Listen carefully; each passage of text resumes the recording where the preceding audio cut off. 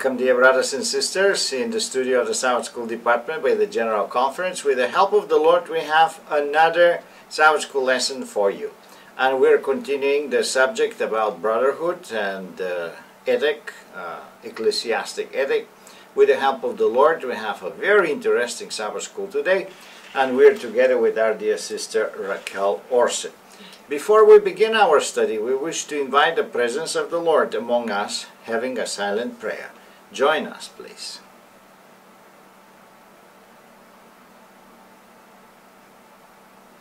Amen. Before I do this lesson, I wish to apologize for the video that have been posted in the previous uh, week the audio of the video was not uh, good and in certain portions it was not good to be heard uh, and we have removed the, the reason of it and we hope that in the future such interference will not take place.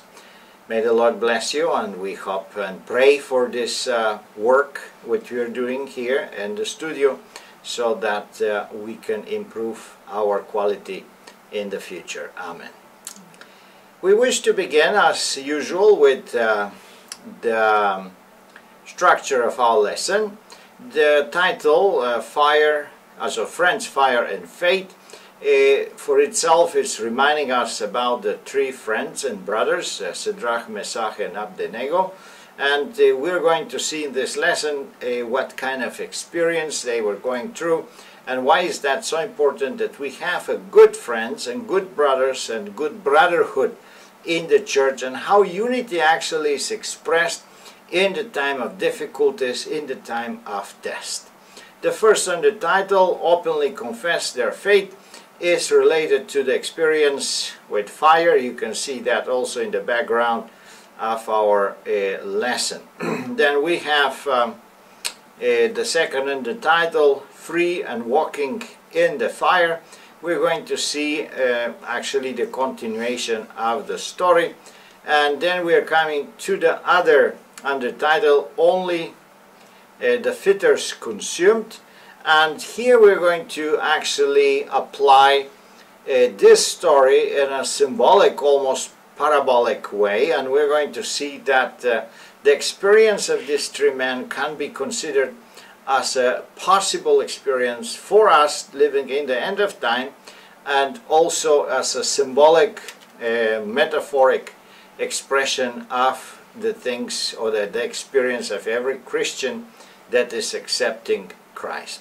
The last under title with God, with God's Son, we're going to see that this is what kind of experience uh, these three young men have made and uh, uh, which experience we can make with the Lord if we also are so firm and so um, steadfast in our understanding of faith and doctrine in our lives. It's very important to consider the entire lesson. The first part of the lesson is more the historical part or, or the textual uh, development of the story which more likely the church members know what happened. Even visitors, if they are Christians from other Protestant churches, they most likely have this story in their Sabbath school or Sunday school's lessons. But it's very important that we concentrate more time on the symbolic understanding and how this is uh, really applying practically in our lives and what are we going to do if something similar happen in our lives. Let's go now uh, together in um, uh, considering uh, the text in details and let's consider especially the first question and we will enjoy also the comments of our dear sister. Although we are not told about prior uh, example of religious intolerance in the Babylonian Empire, what law was uh, enacted in the time of the Jewish captivity. We have, uh, if we can make a certain introduction to the lesson, we have Daniel uh, actually revealing the dream of Nebuchadnezzar, Daniel chapter 2. And uh, after that, the magicians and all the other employees of the king that were unable to interpret this, the, the dream of uh, the king now they come up to the king with a new idea that he need to have a, a golden statue is something that is exactly the opposite of what his dream was. Perhaps they were uh, intending to undo the, uh, the prophecy about the, the changing of empires and the future. I don't know exactly what was the purpose, but this have been proposed to the king and he followed their advice and that was uh, the result of it. Now what happened in and what what actually Nebuchadnezzar did and what he commanded to take place. In order to understand the situation where we are located now in this lesson, we need to consider chapter 1 and chapter 2 of the book of Daniel. Um, we find Daniel with his friends in chapter 1 confronting uh, one test related with uh, the true worship the right way of eating and behaving. And altogether, Daniel and his friends remain faithful. In chapter 2, we find the second test that they went through also, all four together, and that was related with the um, process of interpretation of Nebuchadnezzar's dream. And we know that again, all four were united uh, with the same purpose, and the Lord revealed to Daniel um, the dream and also the meaning of it. But in this third test, we find not Daniel. We know, according to the biblical report, that he was in another business of the king. So the three friends uh, were without Daniel. And this event is related with the revelation of the dream from Daniel 2. As was mentioned, uh, the king opposed the prophetical vision of God and decided that his empire will never vanish. Therefore, not only the head will be gold, but the entire structure of the stature.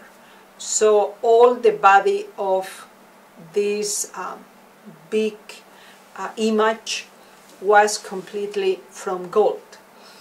But um, in an idolatrical um, civilization as the Babylonian, this was a very um, normal um, issue, but not for these three friends and the order that the king issued related with um, this um, special um, commemoration that he organized to bow down and worship the golden image um, came in conflict with the principles of the true religion.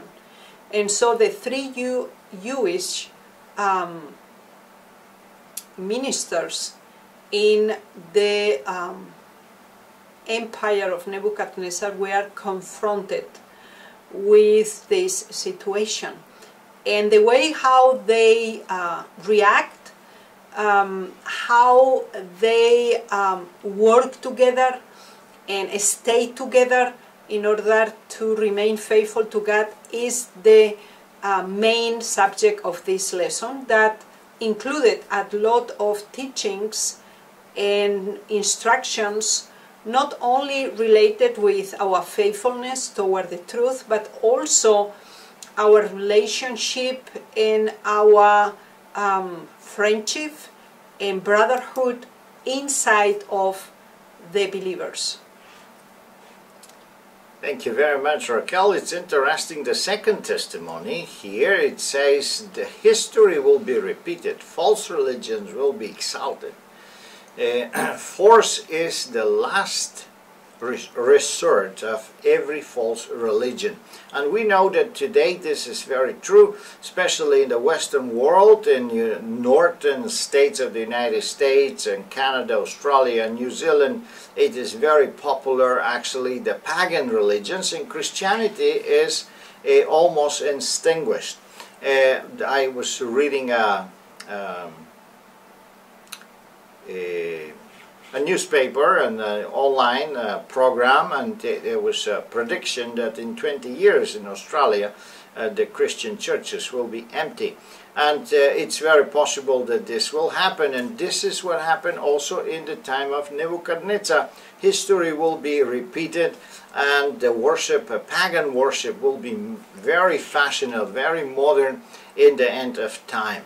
Let's consider the second questions. Who had the courage and power to resist the, the uh, adulterers' command and worship?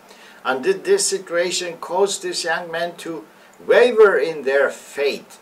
What can we say? How does story now continue uh, in the biblical context? Exactly that this event is narrated to us in Daniel 3 um, allow us to connect and to know much better these three friends. Uh, we know that they went through different um, tests and trials before this um, situation.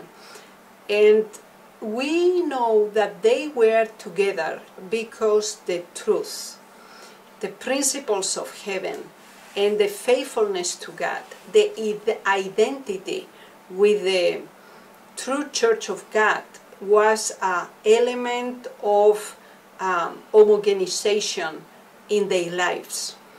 And now um, even if nobody else um, was able to say no to Nebuchadnezzar, uh, especially because that was a dictatorship. So to say no to the emperor and to a very great civilization uh, was connected with death sentence.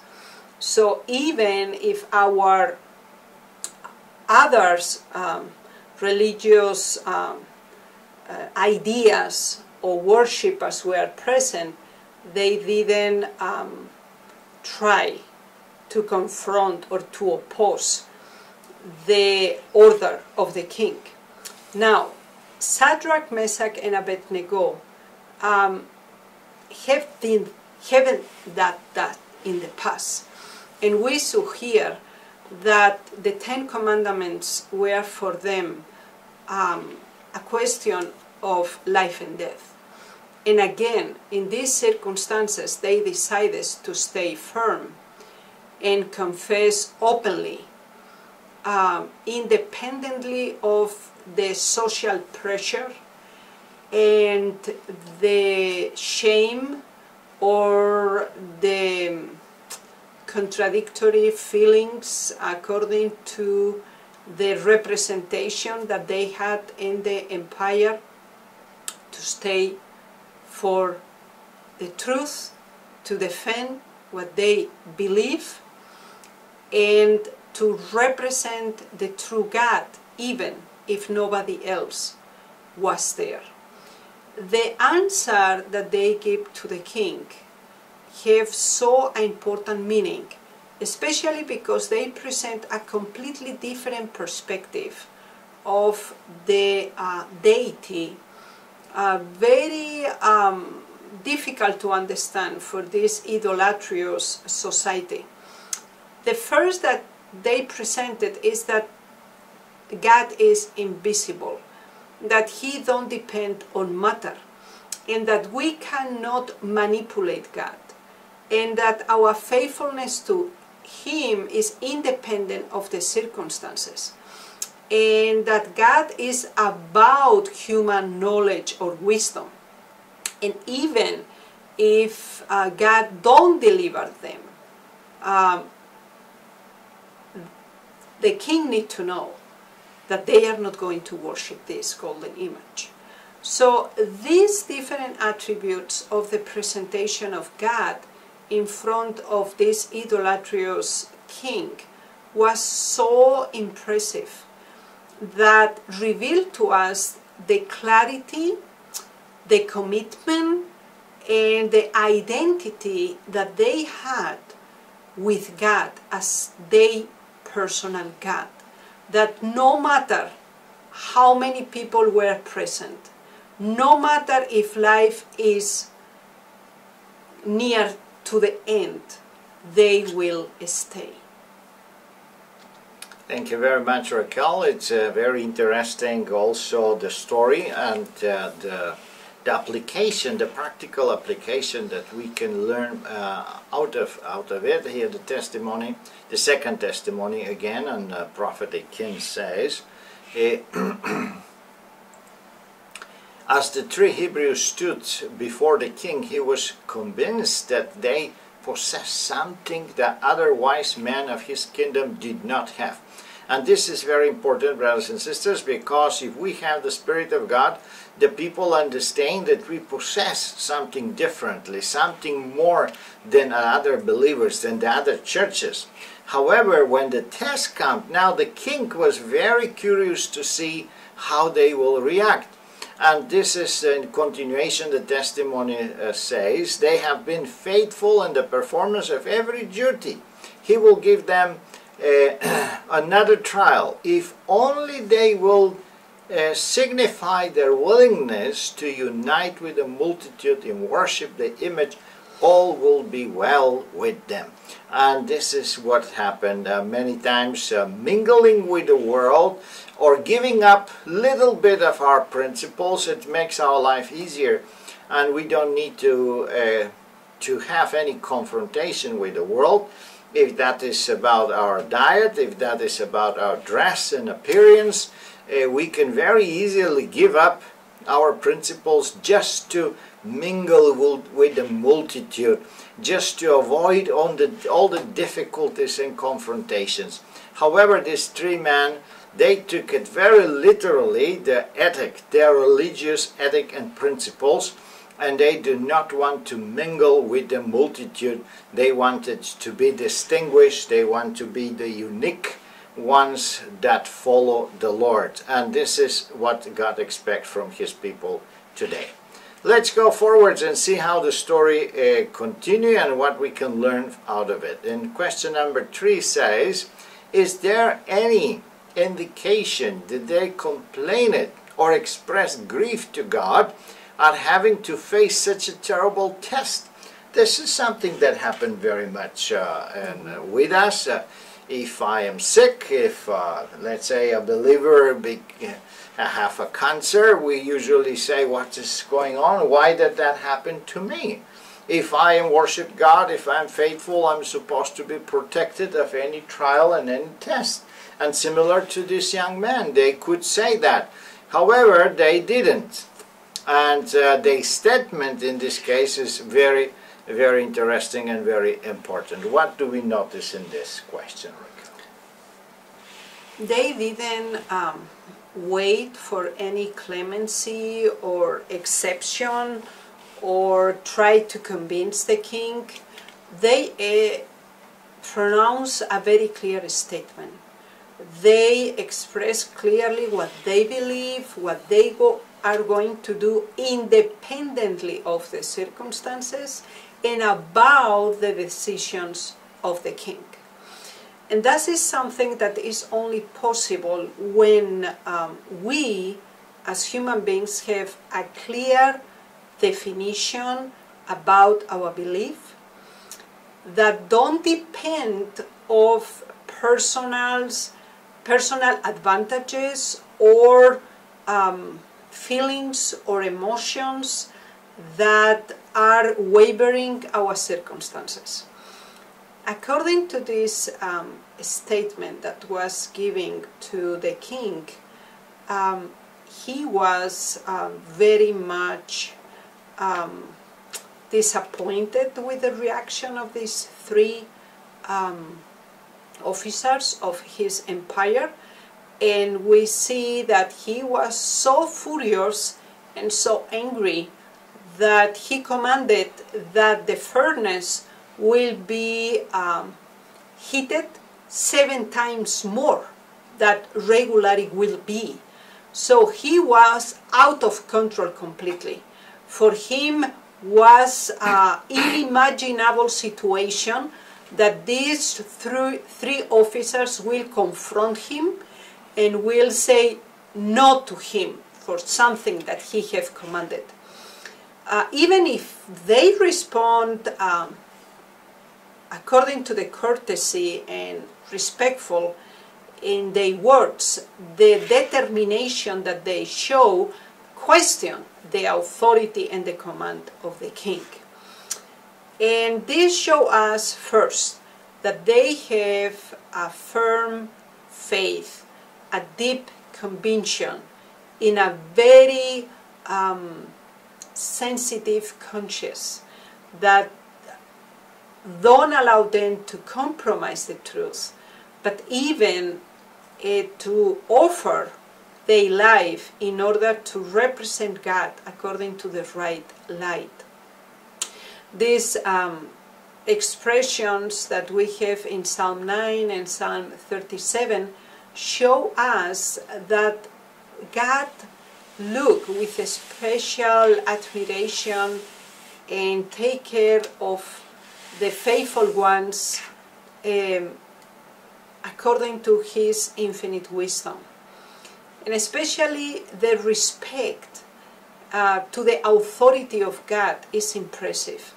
When they confirm that even if they will die, still they will believe and offer their lives to the only true God.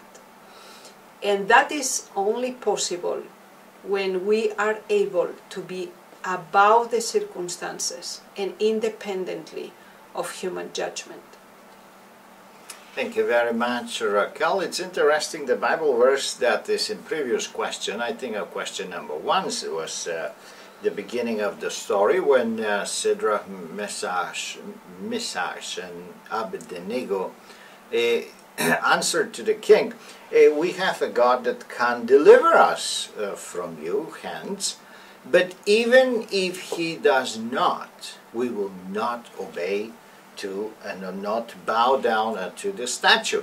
And that is very important. We can expect delivery from God, we can expect help from God, but sometimes even if this help does not come the way as we expected and the way that we desire, we still keep our faithfulness because we are faithful not because we expect God to deliver us, but we are faithful because we love God, because we want to be faithful, because we are uh, we have the Spirit of God with us. And this is the right attitude we need to have when we are in such a test and trouble.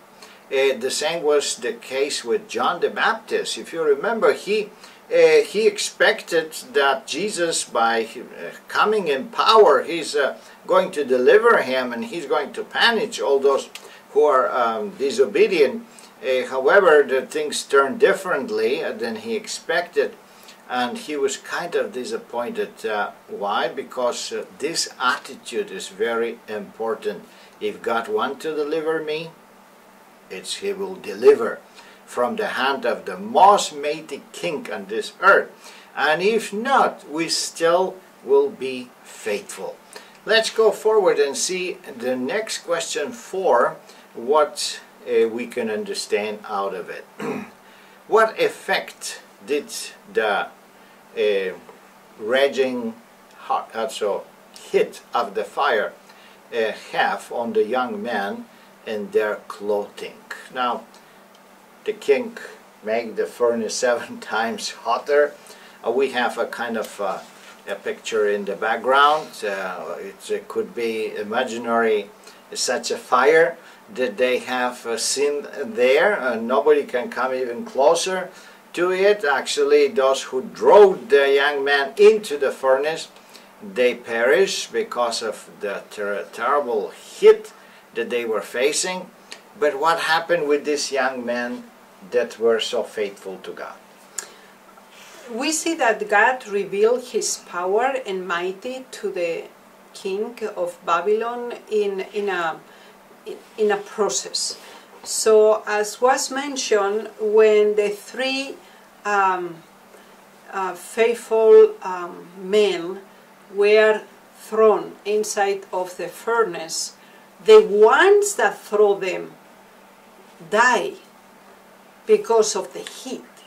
But now, uh, even if this was uh, extraordinary event that uh, contradict any logic and confirm a divine intervention in favor of these three men, um, a second level of convincing evidences were showing to the king when he was extremely uh, focused on this uh, furnace and in astonishing way confirm that were four people inside of the furnace.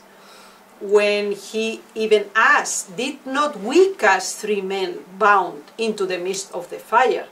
And now they are loose, and they are walking, and they are not hurt, and they are four. So we see here something very important that teach the king exactly what God wanted to show this emperor through the faithfulness of these three men. And that was first that the power of the nature is under the dominion and the power of God. Second, that independently of any human and earthly power, God and divine God is about everything that all the other um, such gods were not true God. Beside that, this fourth person um, came to be together with those that were faithful to him. And not only that they were not burning, but they were uh, loose and they were walking like to be in the furnace um, like in a regular room and that was completely uh, impossible according to human understanding and human reality. So a divine intervention was not possible to be denied in this specific moment.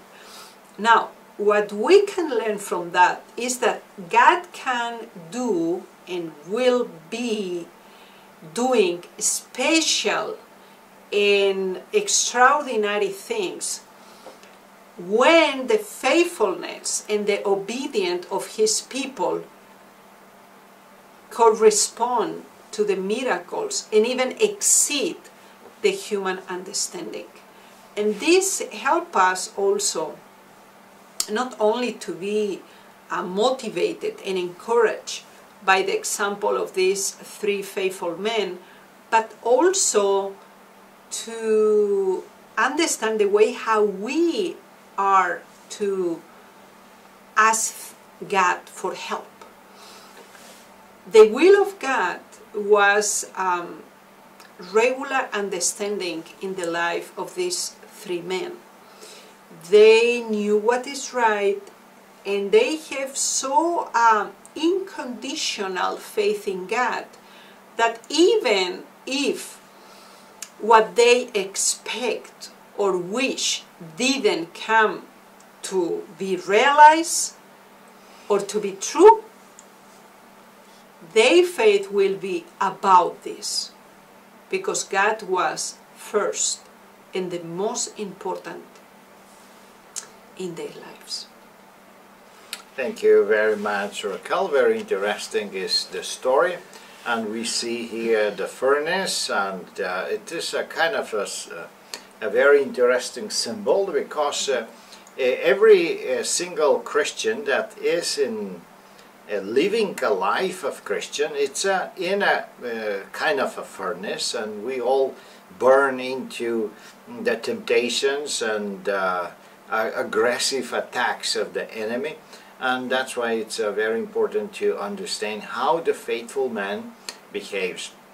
Sometimes people say, but how is that possible that miracles happen in the Old and the New Testament and perhaps nothing, uh, no miracles have happened with me uh, until this moment. Uh, if we uh, accommodate our, our, our lives with the, with the world and we mix with uh, the multitude, obviously no miracles will happen. But in the moment we take stand, we are firm, and we do not move uh, from the standard of God, then, first then, uh, God can interfere if that is according to His will. And that's what happened with these three men.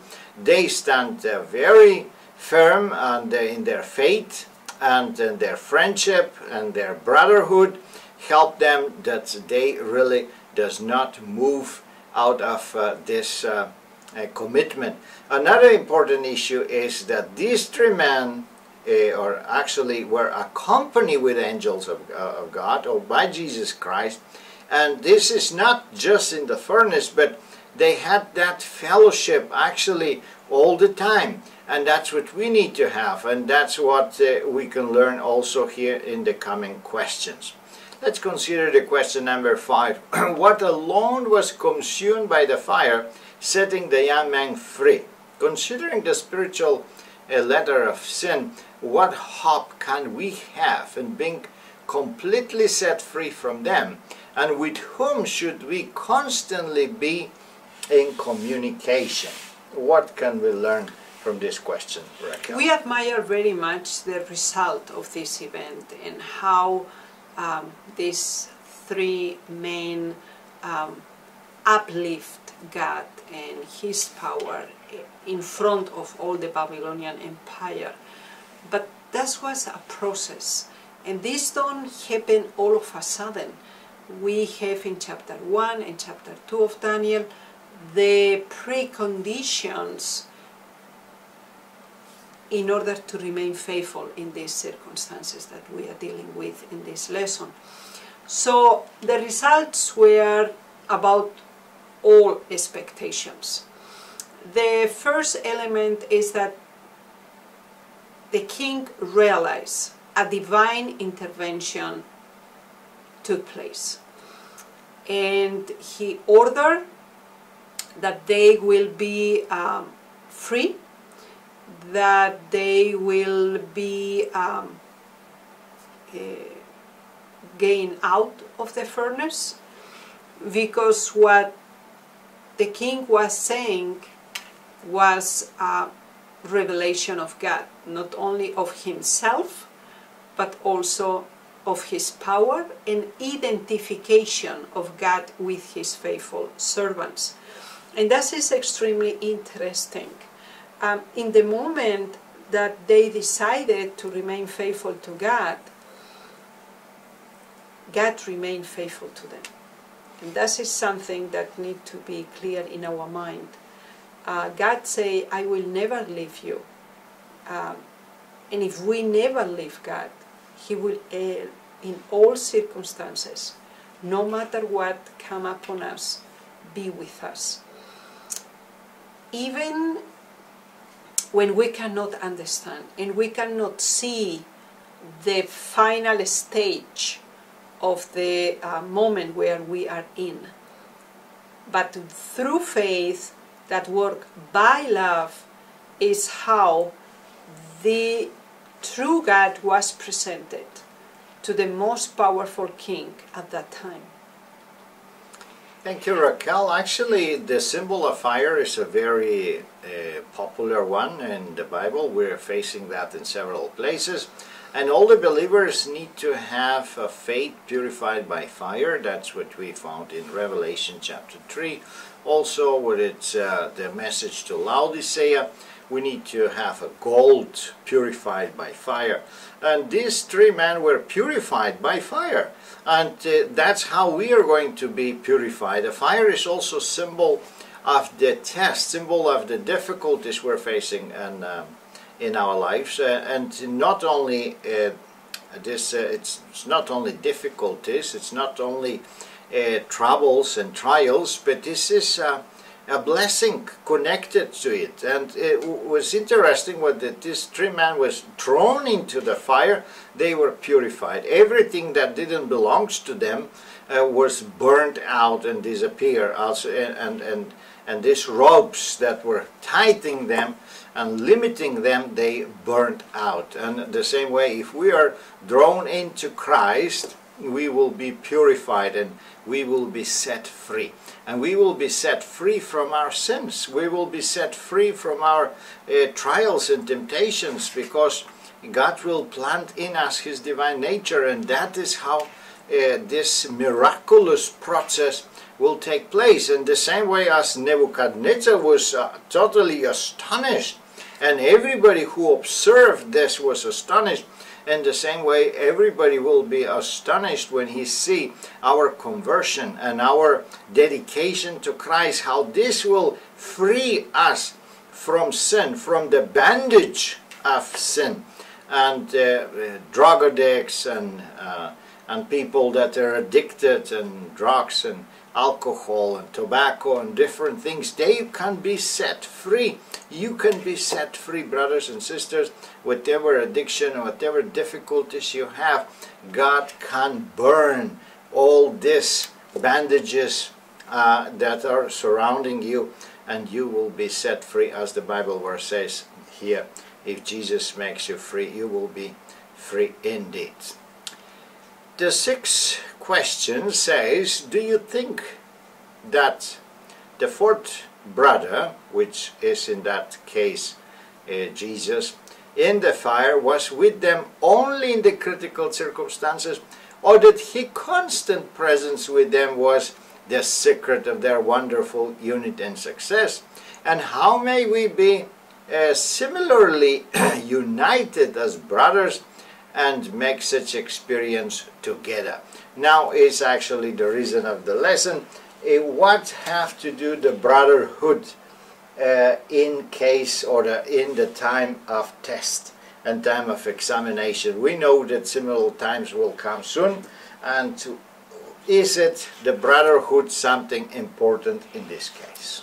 the, uni the unity based on the truth and the values of the principles of heaven were the elements or the links that uh, connected the hearts of these three men together. They have proved that in the past, and now they, um, through the power of God, remain all three faithful. For sure, this um, human connection, this um, friendship um, and the experiences that they went through um, since they were taken captives uh, from Jerusalem all the way to Babylon during the training as students in the Babylonian um, institutions and after also as officers from this empire um, uh, commit them one to another in the print in the idea to keep the truth in their personal life.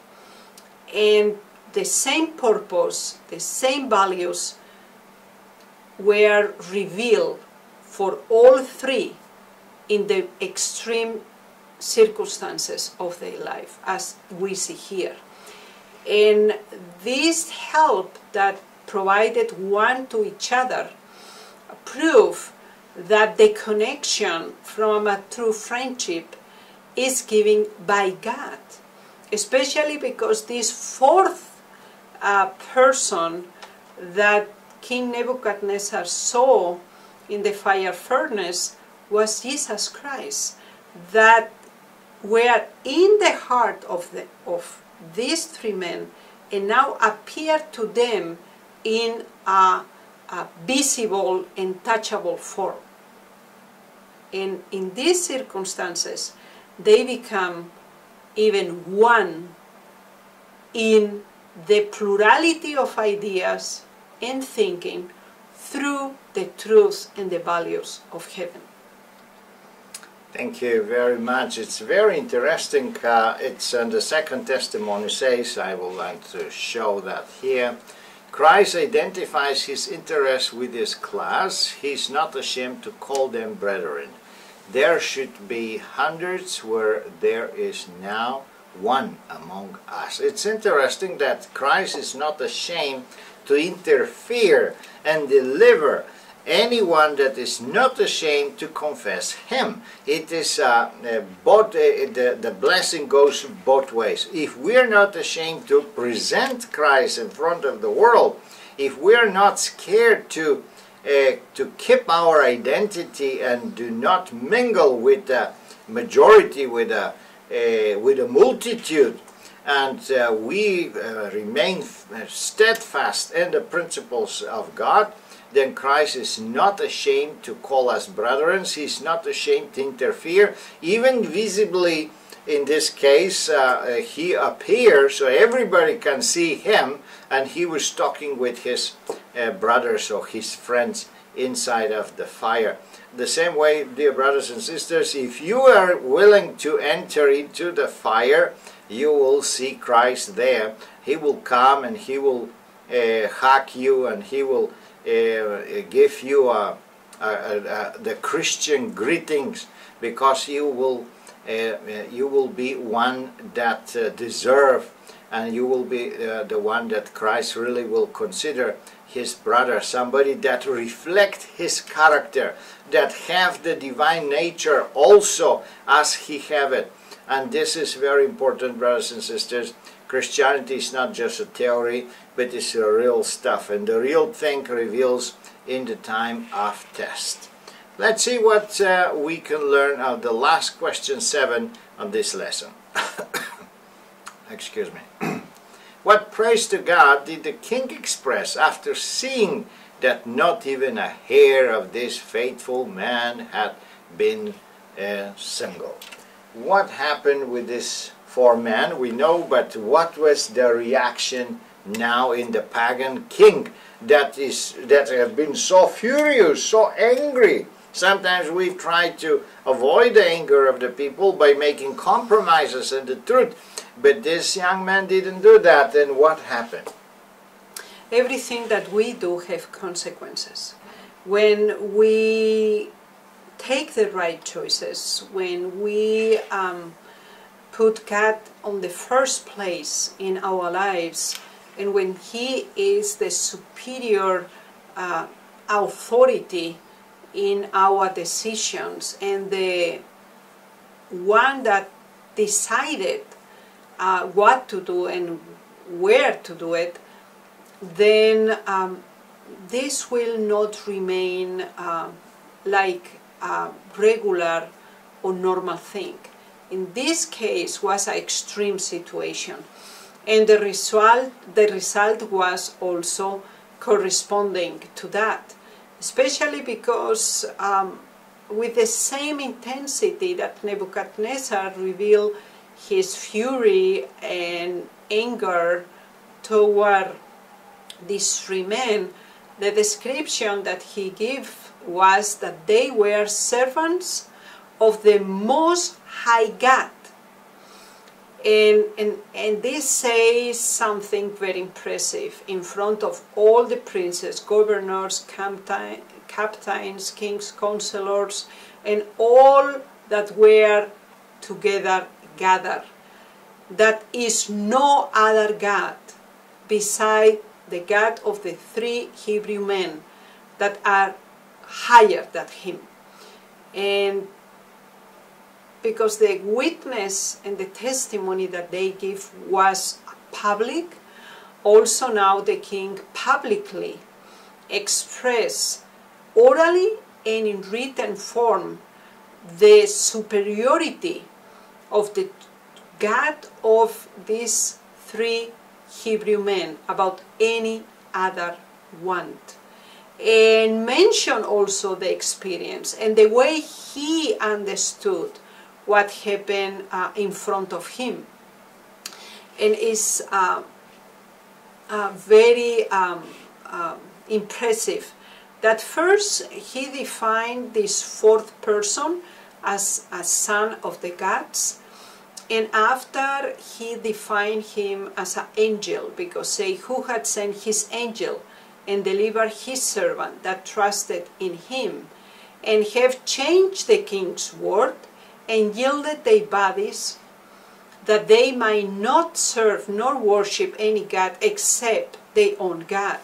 So even he realized that is under this supreme authority, and that is represented in the true God that these three men, Shadrach, Meshach, and Abednego, um, preach and live by. So what we see here is that even if we think that there is no hope and is no solution and our lives need to be sacrificed, this will be not in vain. Because the Word of God, His principles, His authority, and the relationship that we have with Him cannot be compromised. Never, ever. And this is proved through the um, daily trials and tests that we go through. The three men were not confronted with this situation for the first time. They were together in faith, in action, and in faithfulness. And God revealed Himself to them according to the same principles. And this same experience expanded to the um, mind and heart of the king so that all the territories of the empire uh, receive the same message. It's interesting that the king Nebuchadnezzar did everything possible to crush the faith and customs of the captives. He taught them his ways, he taught them the wisdom of Babylonian, he gave them the food of Babylonian, he gave them Babylonian names, which we have here even in the Bible. and the reason was to melt them and distance them for them for their identity. And uh, according to the report, uh, biblical report, it seems like all other young men that were a captive from Judea and from Israel, they melted. They gave up their identity, but these four men, including with Daniel, they didn't. Why? Because they communicate with each other. They supported each other. We know that where two or three are together, Jesus is also with them. It's so important that we support each other in the faithfulness. Support each other to not give up to the multitude and uh, to become faithful and to remain faithful in what we have. And the other testimony which we, uh, we understand here is that the world actually is expecting to see if we, the one that preach about uh, Christ and about everything and the miracles and the purity and sanctification and justification. If we are the one that will jump into the fire when the time comes. And uh, if we don't then the, all the words we have said have obviously no power. And uh, actually the world is tired already to hear uh, sermons. He wants to see an example of faithfulness, and that is the most powerful sermon, the most powerful uh, preaching that we can give uh, to the world if we are faithful. So, dear brothers and sisters, being good uh, courage and uh, uh, enjoy this Sabbath school lesson. the Lord can make you free, and even if you jump into the furnace of fire, the Lord will be with you, like with these three faithful brothers in the faith. May the Lord bless you. Enjoy the Sabbath school lesson, and with the help of the Lord, we can see each other the next week. Amen. Amen.